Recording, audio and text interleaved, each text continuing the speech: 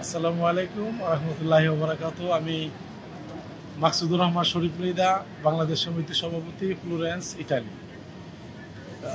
আমি বাংলা ছবির প্রতি আমি খুবই দুর্বল। বাংলা ছবি অনেক দেখেছি, তবে বিশেষ করে ফাটাকিষ্ট মিঠুন চক্রবর্তী ছবি এবং প্রজাপতি, এগুলো- এগুলো দেখেছি। মিটনের কোনো ছবি আমি বাদ রাখি নাই আমার জীবনে সবগুলো আমি দেখেছি, খুব ভালো লাগে। আরও যে তাপস পাল আছে, ওনার ছবিও দেখেছি। আরও অনেক ছবি যেগুলো আসলে নাম বলতে পারতেছি না এই মুহূর্তে।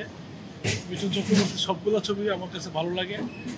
সবগুলো ছবি আমি দেখেছি এবং আরও যারা আছেন, বাংলা ছবি আমার বাংলাদেশের এবং কলকাতার সব ছবি আমি দেখি। দমুটা দমুটা এখানে অনেক শুটিং হয়। ঋতুপর্ণা দিও আসছিল, তারপরে আমাদের ফেরদুস আসছিল, হঠাৎ বৃষ্টি।